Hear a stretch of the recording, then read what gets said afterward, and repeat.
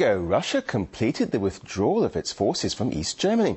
At the time, Moscow hoped a new inclusive system would provide for both its own and Europe's security. But so far, little has been done to make that ambition a reality. Back in the 1970s, Viktor served in the Soviet Army's rocket forces. He was sent to eastern Germany to join the USSR's huge military contingent. Almost two decades on, he still enjoys watching his home video of that time. The retired soldier recalls his decade in Europe as the best time of his life, though admits it was not a walk in the park. Yes, we were earning more money than any military base in the Soviet Union. We could travel and see Germany, and at the same time we had a 12-hour working day, and the general approach to our work was so serious that we were supposed to be in full military readiness within 30 minutes, should something happen. The Soviet Union's primary line of defense in Europe. This is how the 500,000 strong contingent in eastern Germany could have been best described. Following the country's post-war division, Soviet troops occupied the eastern part of Germany, while Allied forces were stationed in the west. The previous security system in Europe proved ineffective, and in order to create one, Soviet authorities, including Gorbachev, offered on several occasions the creation of a united system of security in Europe. Everyone understood the need for it, but nothing was done. When the Cold War began, it was in Berlin where the confrontation between the superpowers was most visibly seen.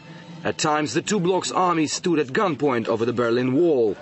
But as the perestroika winds of change started to blow in Moscow, the wall fell in 1989. With its demise came an agreement signed by Mikhail Gorbachev and Helmut Kohl for the USSR to voluntarily end its military presence. It was left to his successor Yeltsin to celebrate the final withdrawal five years later.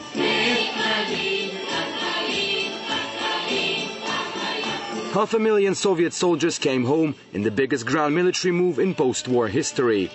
And there were so many of them that Western Germany's government even financed the construction of housing back in Russia.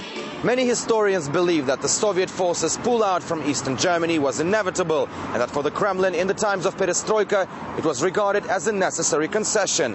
However, Moscow expected something in return from the West, which up to this day it believes it has never received. The Soviet embassy in Berlin's Minister Council at the time speaks of a certain unwritten agreement made by the Cold War leaders. Gorbachev promised to withdraw the Russian forces only in the case that NATO would not expand to the east. But this promise was broken. The Soviet Foreign Ministry insisted that all forces must pull out of Germany, including the NATO forces. It would have been logical, but this didn't happen. Gorbachev had a soft policy and didn't demand anything. If only they'd put the NATO non-expansion condition on paper, then many modern-day tensions could have been avoided.